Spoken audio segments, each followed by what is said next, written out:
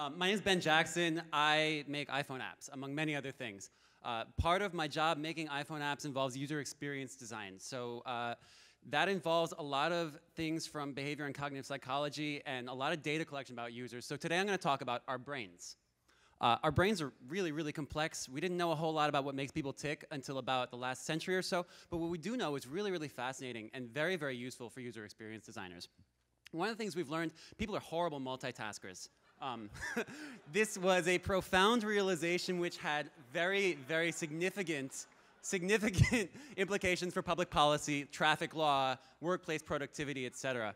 Um, Charles Whitt Telford was one of the pioneers of multitasking research. He did a study where he sat his students down in front of a telegraph key, had them press it after two sounds were played, and then varied the distance. So when the sounds are close together, the reaction time for the latter actually slows by about a tenth of a second. Uh, we really can't concentrate on more than two things at once. Um, but we don't always want to concentrate. So for example, David Barlow theorized that sexual anxiety, uh, sorry, focusing on anxiety caused uh, sexual dysfunction. Uh, anxiety actually improves performance in most people. Anyone ever, here ever have sex in a dangerous situation? Y'all know what I'm talking about. So, so Barlow took a look. Right, thank you. So Barlow took a look at arousal over time. This is a, a measurement from a strain, ga a strain gauge, which is a, an electroconductive metal band tied around the shaft of the penis. And he found that actually people, when they're distracted, will perform better if they have sexual dysfunction, but they'll perform worse in the control group. Um, distraction like I said, distraction distraction's always a bad thing. Uh, if you give people a game to play while they're waiting a long-running task, it makes them a lot less pissed off. Doctors know this too. They always stock their waiting rooms with lots of magazines. Um, 1930, Burrhus Frederic Skinner invented a, a, device called the operant conditioning chamber, which is really just a fancy name for a box with a lever hooked up to a stimulus. Uh, you hook that lever up to a dish of food, a rat will uh, eat and gorge itself on food pellets. However, you hook two levers up, make one deliver food and the other deliver narcotics through a vein in the jugular, that rat is not going to last very long. Um, about 700 times per hour, that rat will dose itself with drugs till it dies of malnourishment and exhaustion. However, David Barlow found that if you take that same junkie rat out of its cage, put it in a nicer cage with lots of food and water, then it ignores the drugs. And he theorized that, well, those rats weren't junkies, the drugs weren't the problem, they were just really, really depressed from the cages. Um, the designers at Zynga are very, very well aware of the research in behavioral psychology. They use a lot of techniques like gifting, which leverages the reciprocity effect. I give you a gift, you want to give me a gift. Um, they use random payouts like slot machines in casinos.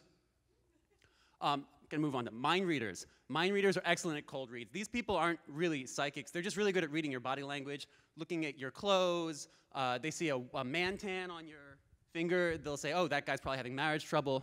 Um, they also look at your shoes. Everybody, look at the shoes of the people around you here. Just look at the shoes, seriously, I'm not joking. 90% um, of your guesses about the person sitting next to you based on their shoes will be right, according to a study at the University of Kansas this year. Uh, people in high tops are less agreeable. People in uncomfortable shoes are calmer.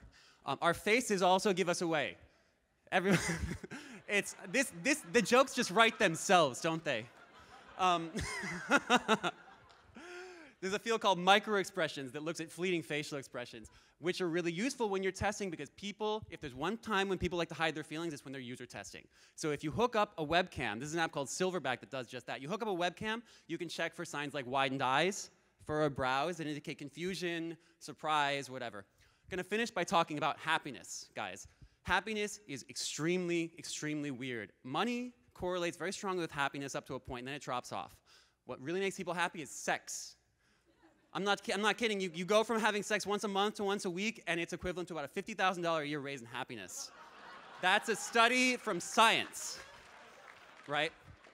Uh, another study, Martin Seligman put a bunch of dogs in a box with randomly timed shocks. This is a Skinner box. And he told the dog, he, he, some of the dogs could control the, sh the shock with the, the lever, some of them couldn't. The ones who couldn't, when he put them in another box that was partially open and shocked them, they didn't try to escape, they just lied down whining. And users are in the same boat as these dogs with this kind of garbage, right? So we can help our users. They don't have to feel trapped in the box of idiocy that we put them in.